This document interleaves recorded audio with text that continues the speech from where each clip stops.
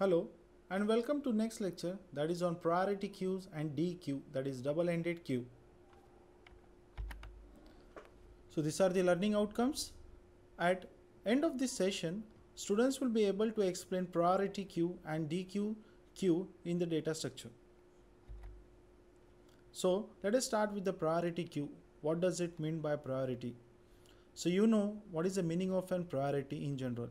So we have to give some priority at the some time at the stage of the life. So in that, so we do the things which are more prior to the next thing.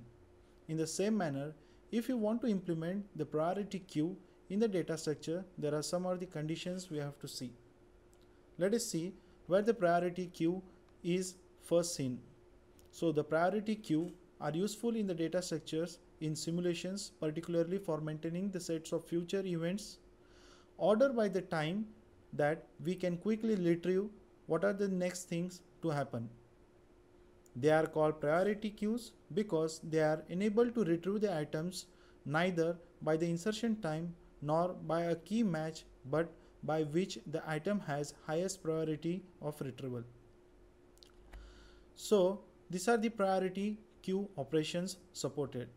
So we have seen the operations in the linear queue and the circular queue.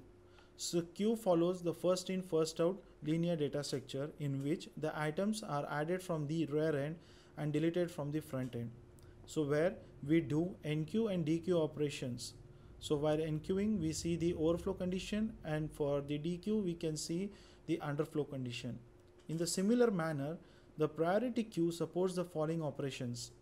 First that is an underflow conditions like this. So is an empty if the function is empty call, it is used to check whether the queue has no elements. Means if you try to delete the element from the queue when there are no elements we have to see that uh, that is an empty. Next we are going to see that uh, next operation that is insert with priority.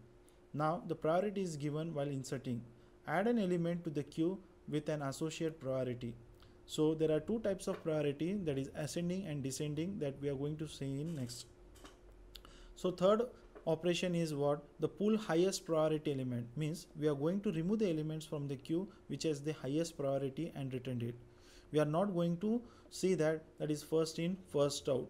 For example, in the live scenario, if the person comes with a injured in a hospital, so the doctor has to attend it first uh, based on the the priority given to the injured person. Otherwise, he will be more injured if he is not attended on the priority basis so the doctor stops all the things and attend to the injured person. So that is known as an priority queue. So that was the most live example uh, while using an priority queue. So in the similar manner the priority queues are used in the job scheduling in the cpu cpu scheduling all these things so uh, there are two types of priority queues we are going to see. That is an ascending priority queue and descending priority queue. So based on this the highest priority element that is pull means we are going to remove the element from the queue that has an highest priority. So in ascending priority we are going to remove the smallest element in the queue. That's why it is known as an ascending priority queue. In the same manner if you are going to remove the largest element in the queue that is uh, we are going to dequeue operation so that is known as an descending priority queue. So the in short we are going to see that that the priority queue supports three operations that is is empty insert with priority and pull highest priority element. So these are the two types of priority that is ascending priority queue and descending priority queue now you tell me what are the advantages of priority queue so it is easy to implement and process with the different priority can be efficiently handled. So now let us start with the double-ended DQ DQ is also an homogeneous list of elements in which the insertion and deletion operations are performed from both the ends. As in the normal linear queue and the circular queue, we have seen that the insertion and the deletions can be done from only one end, that is rear and the front end. But in double-ended DQ, in which we are going to insert and delete operations are performed from both the ends. That we can insert the element from the rear end or the from the front end Hence, it is known as a double-ended queue and it is commonly referred as a double-ended queue. so now let us see the types of dequeue as there are two types of dequeue that is input restricted dequeue and output restricted dequeue as shown in this figure the input why it is known as an input restricted dequeue as the insertion is allowed from one end that is an rear end and the deletions can be done from both the ends that is from the front end as well as from the rear end. So that's why it is known as an input restricted dq now next that is the output restricted dq means what? So here the deletion is allowed only at once that is from the rear end. So the insertion can be done from both the end.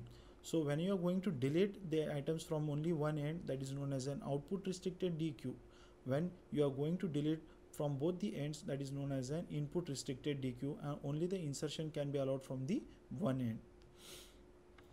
So now based on the uh, both insertion and deletions are performed uh, from the either end it is necessary to design an algorithm to perform the following four operations.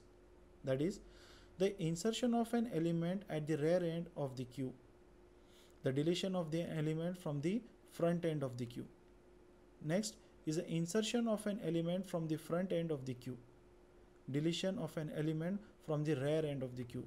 That's what we have seen in the previous figure. That is insertion of the element can be done from the rear end and the deletion can be done from both the ends that is rear and uh, front end. And the next is the insertion of the element is from the front end of the queue and the deletion can be done from both the ends either next the deletion can be done from the rear end of the queue and the insertion can be done from both the ends. So that is known as the double-ended DQ so now we'll see one by one what are the applications of an queue. So uh, we have seen the live examples of an uh, priority queue like in hospitals where the priority queue is used. Uh, so in the same manner the queues are used in the various uh, applications in the data structures such as in job scheduling, a disk scheduling, and the simulation. So uh, when the resources is shared among the multiple consumer means what? So when the printer uh, that is connected in the network that is a network printer it is called as a network printer. Means uh, in a lab there are 40 to 50 machines are there and the printer is shared among all the uh, 50 machines. And the mm, the CPU scheduling or the disk scheduling is what? So whenever the persons are going to give the print from each and every machine of the uh, in the lab so they have to do so whenever the first print is going to come those are going to give the first print from the uh, machine. So that's why it is known as an first in first out. It makes an schedule of the uh, printer uh, from which the printer is going to take the uh, numbers from where the print is going to come here. In the similar manner that is in job scheduling it is known as an multitasking. Uh, so whenever you are going to have more than one uh, task uh, uh going to do done in a computer applications so the cpu starts to do and scheduling of that here so that is known as a sh uh, job scheduling here in the similar manner that is in real-time simulations. So for example the railway reservation counters so as we see in the smaller cities the population is less where the reservation counters are very less. Means up to 5 to 6 reservation counters are there in uh, solapur city. But as we move on to the metro cities like pune mumbai so in the, where there are 30 to 40 reservation counters. So how they are going to build? Why they have built so many reservation counters here? So uh, they calculate the uh, arrival time of the person. They calculate when the person is uh, leaving from that place. Uh, so how much time is required to get the service from the queue uh, from the uh, user or the client. Uh, so based on this analysis that is done only based on the queue only. So that's why if there are more number of queues and the person is getting more time to get the service then they increase the reservation counters at the uh, railway reservation. It is same with your when you are going to remove the ticket in your cinema halls. So you have multiple uh, reservation counters here. So based on that only it is known as an, a real-time uh, simulation. So that are the known as an application of an queue so uh, in short what we can say that when the uh, resources are shared among the multiple consumers that is include the uh, cpu scheduling uh, disk uh, scheduling a job scheduling and the simulation. So in short what we have studied is that the linear queue which follows uh, first in first out in this the same thing is followed in the priority queue also but there are some priority given to the data here. So while inserting the data can be inserted anyhow but when you are going to remove that it can be done from the smallest elements are being removed first and the the largest elements are going to be removed first. That is known as an the priority queue. And in double-ended queue we have seen that is the input uh, restricted dequeue and the output restricted dequeue and we have seen the applications of an queue so these are my references. Thank you